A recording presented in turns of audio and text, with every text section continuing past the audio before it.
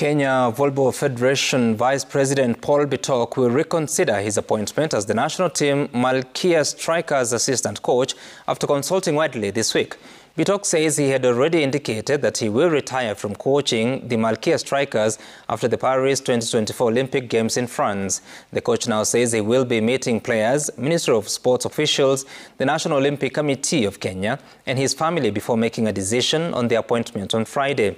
There was hue and cry this week after the Kenya Volleyball Federation appointed President Charles Nyaberi as the Malkia Strikers team manager, while his deputy, Paul Bitok, was appointed assistant coach.